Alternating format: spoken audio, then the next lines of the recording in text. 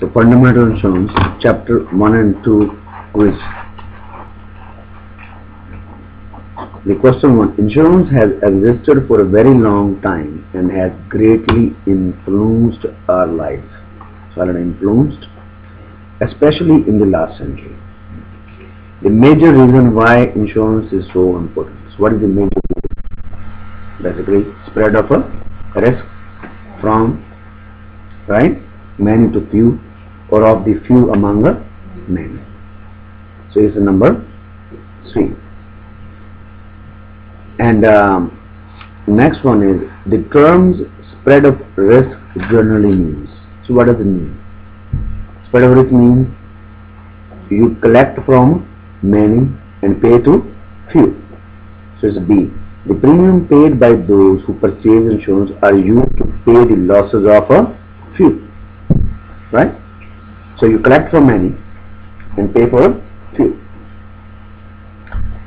And then the then we go to third. The definition of insurance in Insurance Act of the Common Law provisions include all of the following points.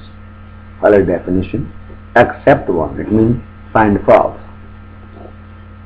So number one, ability to shift the financial burden for losses to another party. That's true, right? So transfer of risk. True. The promise of payment only the event of certain risk of peril. Risk of peril means risk of a loss such as fire. So promise, so it means the insurance company promised to pay. That's true, right? So what do they pay? They pay either the, the money, repair or investment. You see, payment is restricted to the actual amount of loss. So highlight actual. Based on the value of the object insurance immediately means immediately before the loss. So whatever the condition is immediately. So that's also true.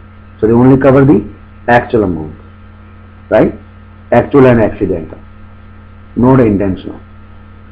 If D. The law requires that payment must be made in the form of money only.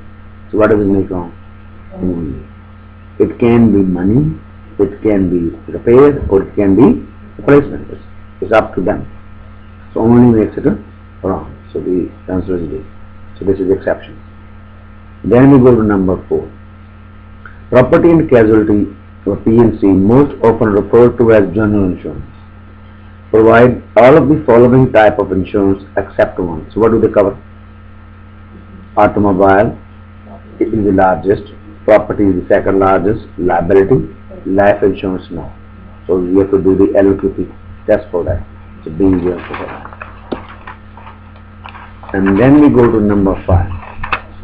The entity providing various types of insurance can be either a government insurer or private insurance. All of the following statements pertaining to private insurers are true, except one. So find false. So what are the private insurance?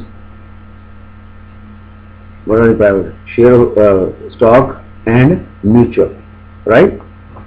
So first is shareholders who have invested capital in a stock company do not expect the company to make a profit at the end of the year. So if you invest the money in the company, what do you want? You want profit. So shareholders are profit oriented. Stock companies are profitable.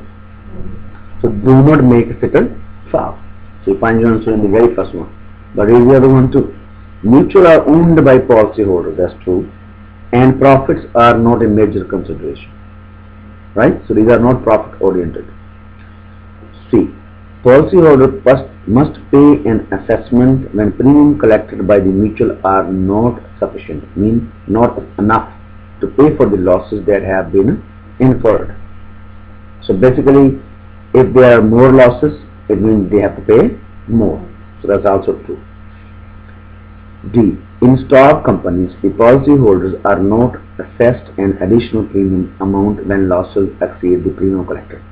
Because stock companies are profit oriented. It has nothing to do with the premiums, right?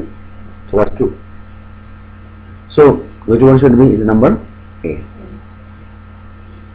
And we go to 6. Insurance is distributed to the public through different channels. Most insurance insurers use the independent brokerage system as their distribution source. All of the following statements pertaining to independent brokers are correct. Are independent brokers except one. Independent brokers are not employees, that's true. They are independent, right? Independent brokers are paid all office uh, expenses including salary by their insurers. No, they pay by themselves. They pay by themselves. So that's false. So this is the answer. C. Independent brokers are not limited to representing only one insurer. So they represent many companies. So that's true. Independent brokers receive commission. That's also true. Directly from the from the insurers. And we go to the question number seven. All of the following are risks commonly faced by everyone except one. Pick the exception. So find false basically. Financial loss due to loss of one's health, accident or sickness, right? Everybody. Financial responsibility to third party for having caused injury or property damage.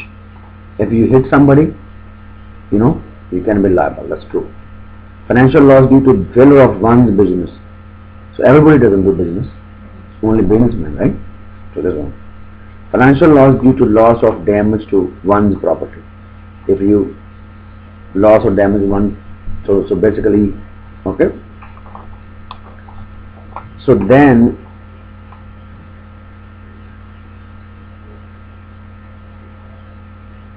Okay.